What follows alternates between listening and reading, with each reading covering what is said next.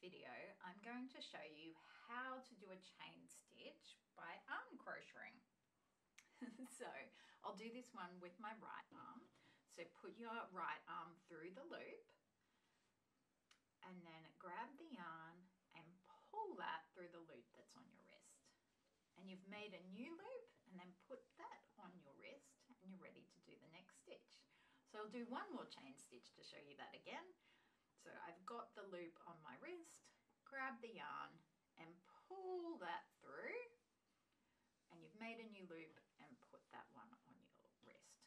So we'll just look at what we've done. So here is the second chain stitch I did. There's the first chain stitch I did and we count them by counting the V. So this is two legs of the V and this is